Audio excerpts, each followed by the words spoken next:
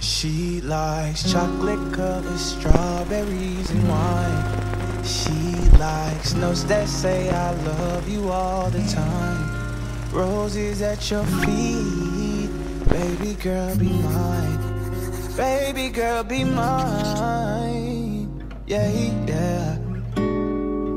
Pick up your phone, I need your attention. My girl so bad we call her detention. I am so glad we moved beyond friendship. And your mama like me, look, I squared up with Cupid, told him find me. I stole your love, he shot my heart. I'm losing breath, it's getting. Hi guys! Happy Halloween! It's that time of the year na pwede tayong magbihis or mag-costume na pwede nating gayahin kung sino man yung gusto natin. So ngayong taon, gusto kong gayahin si Frida Kahlo. Sa mga hindi pa nakakakilala sa kanya, isa siyang Mexican artist na isa sa mga pinakapaborito ko dahil sa kwento ng buhay niya at dahil parehas kami ng mga pinaguhugutang inspiration sa pagpipinta.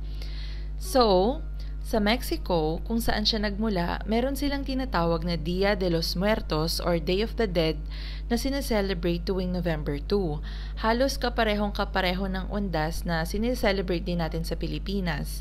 Kung napanood nyo na yung movie na Coco, gets nyo na yung ibig kong sabihin. Anyway, since nabanggit ko na rin, unahin na natin yung similarities ng Dia de los Muertos at Undas. Una, napansin ko talaga na uso rin sa kanila yung pag-aalay ng pagkain sa altar. Sa kanila, ang tawag ay of ofrenda. Ayan. Siguro may mga batang 90s dito na makaka-relate kagaya ko. Kung naalala nyo pa, lalo na yung mga lumaki sa probinsya, pagsapit ng undas, nagpapasyon or nagpapadasal yung mga nakatatanda tapos magtitirik sila ng kandila at mag-aalay ng pagkain o bulaklak katabi ng pictures ng mga yumao pati sa puntod na rin. Naaalala ko pa nung bata ako, sabay-sabay kami ng mga pinsan ko na pumupunta doon sa sementeryo tapos nagtitirik kami ng kandila. Tapos hirap na hirap kami noon hanapin yung puntod ng lolo ko at saka ng pinsan ko kasi sobrang patong-patong yung mga puntod at saka magulo talaga. Pero okay lang. Masaya naman kasi kahit papano nagiging reunion na din namin yung magpipinsan.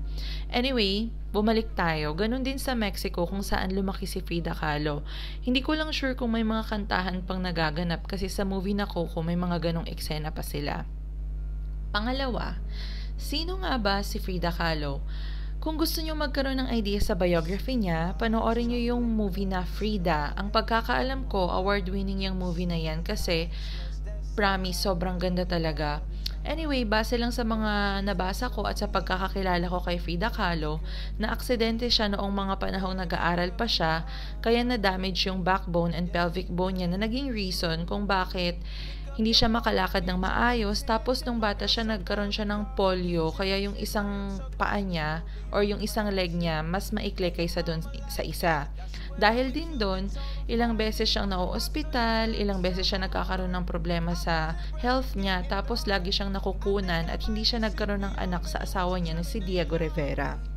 Si Diego Rivera naman ay isang Mexican muralist na naging art celebrity dahil sa involvement niya sa politics and revolution. Kasama niyang mag-travel si Frida Kahlo sa Europe and sa US o diba social. Isa sa mga famous murals niya ay yung commission niya sa New York City sa Rockefeller Center. Alam ko napakita rin to sa movie.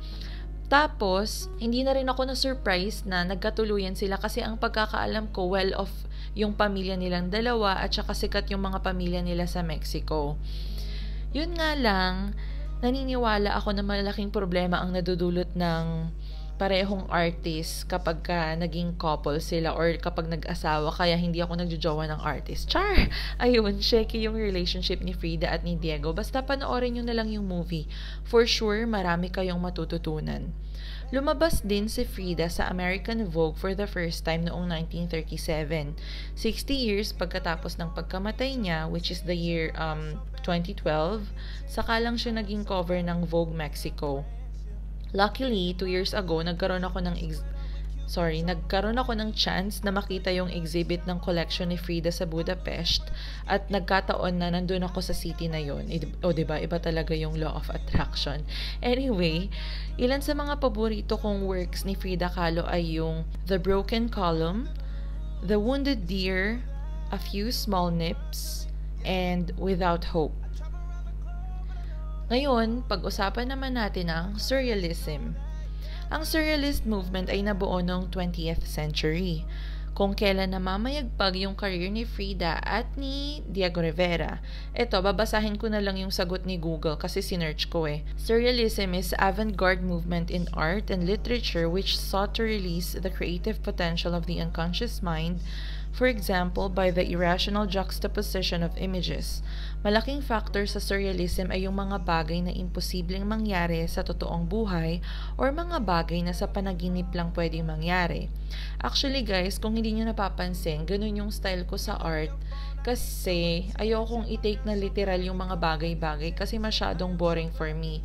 So, pagka naging surrealist ka, parang lahat ng experience mo sa pagpipinta ay dreamy at saka magical. Yun lang, share ko lang.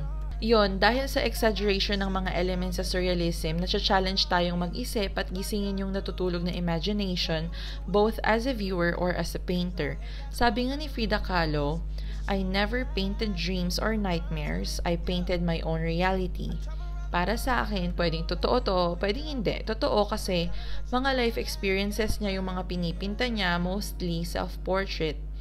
Kagaya nung nakunan siya nung paulit-ulit saka nung iniwan siya ni Diego. Tapos, yung style niya rin kasi, imposible lang mangyari sa totoong buhay. Kaya para sa akin, surrealist pa rin si Frida Kahlo kahit i-deny niya man or hindi.